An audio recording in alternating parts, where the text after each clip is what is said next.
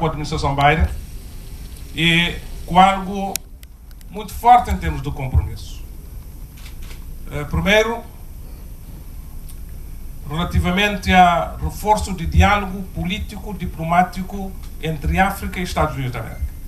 Ele é importantíssimo uh, porque nós estamos num mundo que nós todos sabemos que é complicado. E a melhor forma de país relaciona é criar relações de proximidade a nível político, a nível diplomático, a nível cultural, de relações de afinidade que se tem. Foi um retoma importante. Uh, depois, uh, compromisso que tem a ver com uma sintonia relativamente àquilo que é prioridades da União Africana, que representa países da África e prioridades dos Estados Unidos da América. Teve uma convergência ali que é muito importante. E o presidente Biden anuncia 55 bilhões de dólares para a agenda chamado 2063 de transformação e desenvolvimento sustentável da África. É importantíssimo que seja concretizado. E é claro que nunca podia deixar de fazer aquela outra parte ali que é também para nós é importante, que é esse junto de comunidade. E é por isso que nos está ali hoje. Uh, depois de Washington, com agenda diferente, ali na Brockton, ali na Boston, na Massachusetts, é onde que Cabo Verde está. E é por isso que no estado de hoje está celebra conosco, está transmitindo aquilo que também é o nosso sentimento.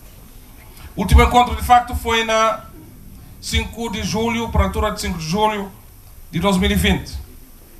E não estava na pandemia, tinha condicionado. Te lembra quando chega no hotel, nós ainda não usava a máscara. E verifica-me a maior parte das pessoas que estava com máscara. E o embaixador quase nós não tem que adaptar. E não vai para aquele, eh, para aquele jantar, entre almoço e jantar, as pessoas começam a estar cumprimentando, ter beijinho, não estava com algum constrangimento. Porque ali já, já, já tinha liberalizado um bocado eh, a questão da quarentena, eh, da apresentação e da utilização de máscara na Cabo Verde ainda não estava com alguns condicionamentos e não teve que fazer adaptação para não fazer uma boa convivência. Que houve baixo, porque não estava na pandemia. Hoje nunca sei se está baixo, mas não está mais livre. E teve um ganho ali muito grande para a humanidade, para o mundo. A pandemia foi uma coisa terrível ainda está Em pouco tempo, investir o seu dinheiro e conseguir ter vacina que está produz um efeito muito grande. Por isso nós estamos ali num momento um bocado diferente, tão diferente, é, mais livre, no contacto pessoal. Agora não pode dar mãozada, pode dar beijinhos, pode dar abraços. Há cerca de um ano atrás é que era possível não fazer. E Cabo Verde faz também um bom combate durante a pandemia. Um, um país que se apontava, mas podia ser extremamente difícil. Eh, não conseguia ultrapassava as crises ali, que é a crise sanitária, provocada pela pandemia, mas ao mesmo tempo uma crise social, uma crise econômica muito forte. Cabo Verde ultrapassar bem. Nós é país de África que mais vacinação faz.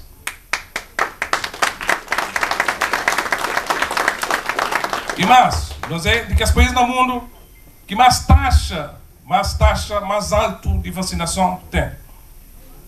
Ah, nós está aí para volta de mais de 85% de população vacinada com duas doses.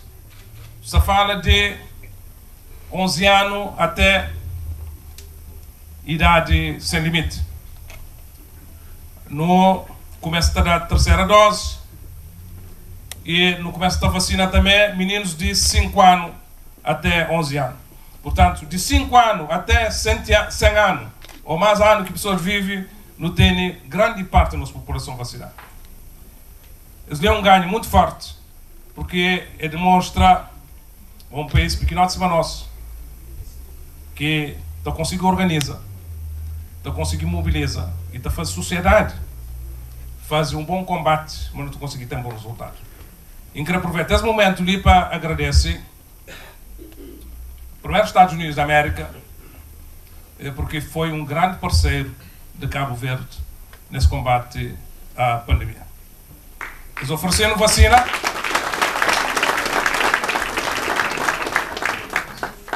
Em quantidade grande, Pfizer, vacina moderna, AstraZeneca.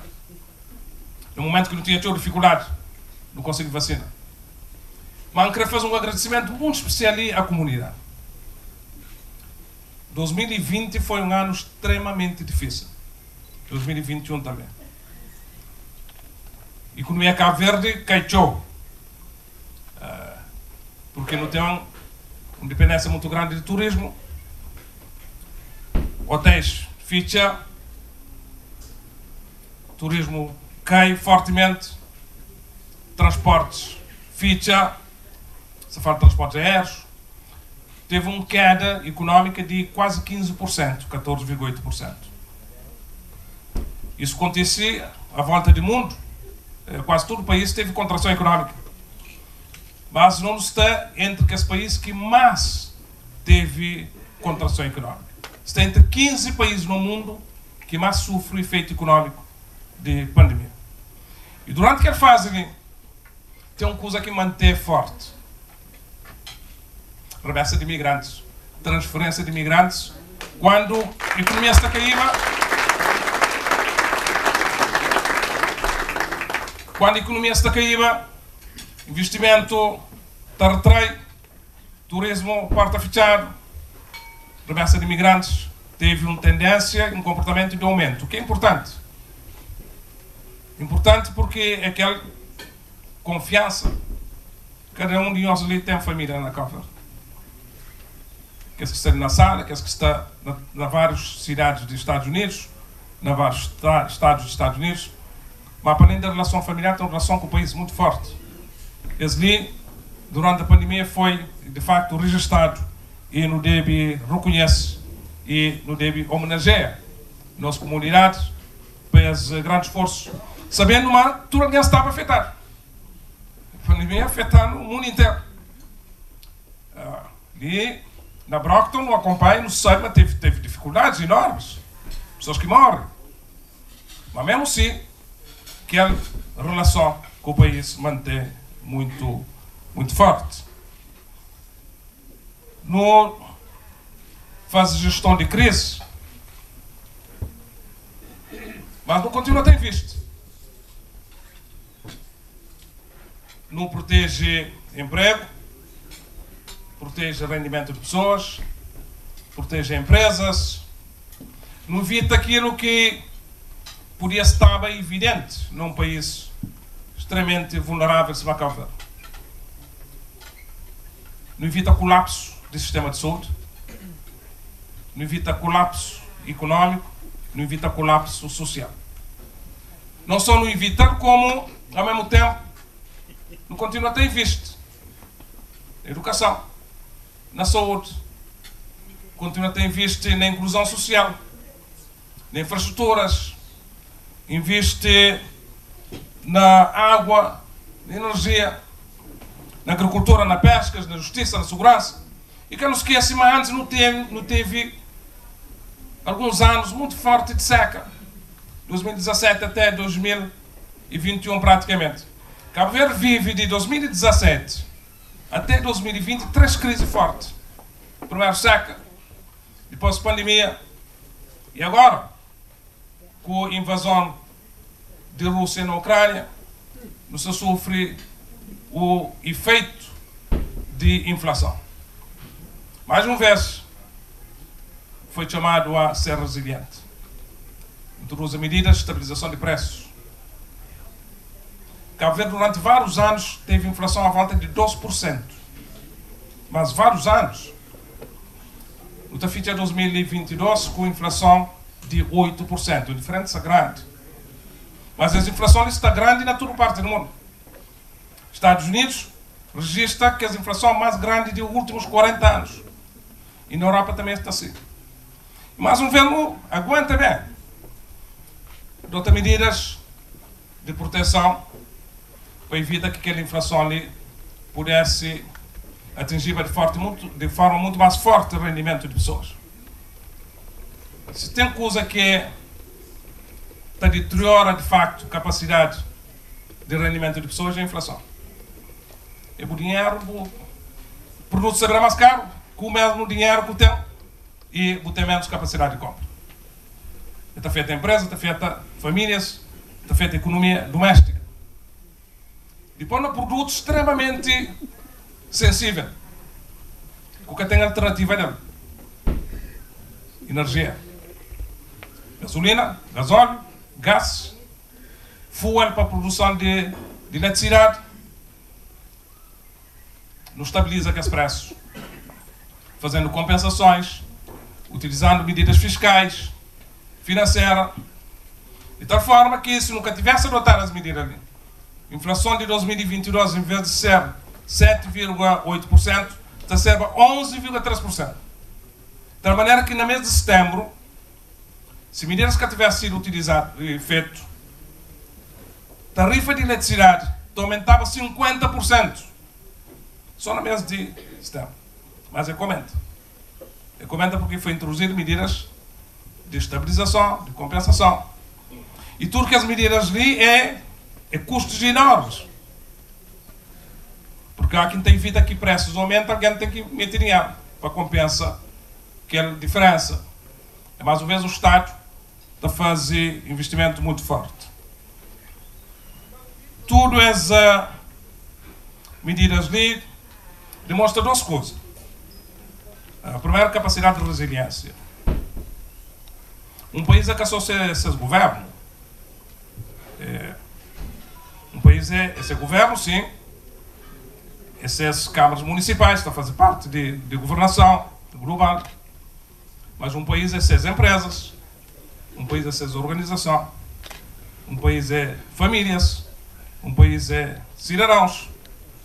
E tudo junto ao que se consiga ser resiliente, não estou conseguir fazer face à crise. E na Cabo Verde é um país muito mais grande ainda, porque tem, tem diáspora. Essa maneira que não ultrapassa essa crise ali é uma mensagem de confiança. E, primeiro, para não acreditar em nós mesmos. Segundo, mas tem história de séculos de superação. Terceiro, não, estou conseguindo vencer e não consegue e não está na via de recuperação.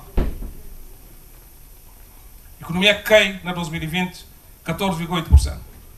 Na 2021 não cresce 7%. 2022 não se também ficha com mais de 8%. Portanto, já não se recupera praticamente aquilo que foi a contração de 2020. Ele é importante também porque é mais do que estatísticas. O que está falando não cresce, quer dizer, é, é medição de alguma coisa. É investimentos que continuam, é consumo, é exportação, importação, é gastos de família. E não está com tendência de aumento. E isso significa uma coisa importante que é a confiança. E a confiança que está fazendo coisas, de facto, movimenta e até confiança de investidores, confiança de empresários, confiança de instituições financeiras internacionais, confiança de parceiros internacionais na Cabo Verde. E tudo isso junto que tem estado está fazendo, de facto, supera e consegue avançar. Próximos tempos, não tem desafios rei de grande. E a da Cabo Verde, mas o mundo inteiro vira mais resiliente. Por isso que não se faz grande investimento naquilo que está chamado transição energética. Falando de Cabo Verde que tem recursos. Ok, nunca tem é, recursos minerais, nunca tem ouro, nunca tem diamante, nunca tem petróleo. Uh, mas uh, hoje, cada vez mais, no MST, vira menos dependentes de petróleo.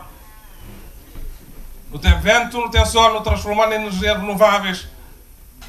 Não está na 20% de gostos.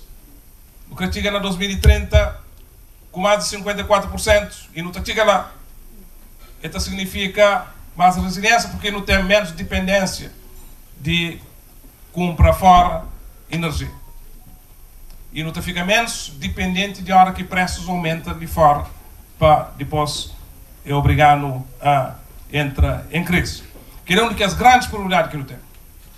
Ao mesmo tempo, resolve um outro problema que não tem, mas que é mais de uma relação divina de Cabo Verde com, com Deus. Chuva. Um país que, desde ser nascença, tem um problema, de facto, de exposição à seca. E seca com fatalidade. Com fatalidade. E nos tem cara diferentes. É por isso que, se me falar que chove, não terá graças a Deus, ou que chove não tem que viver na mesma. E período seca, não tem que ter condições de fazer agricultura, mesmo em período seca. E vou resolver com tecnologia. O Senhor tem visto fortemente na desalinização de água para a agricultura, porque a água para consumo hoje, Cabo Verde tem um consumo relativamente alto de água desalinizada, associando a energia renovável e no Beira muito mais resiliente na dar essa resposta e continuar a fazer agricultura de uma forma mais eficiente, de uma forma mais produtiva. Depois diversifica a economia, é um conjunto de ações que Caçabém caça nós lhe qual é, para não é, conseguir de facto ter uma economia mais, mais forte. Claro que na diáspora, e não sei mais como isso funciona, e, e também na Cabo Verde não tem, não tem ano, mas às vezes o impacto na diáspora é mais forte, é por causa de distância e por causa de exposição.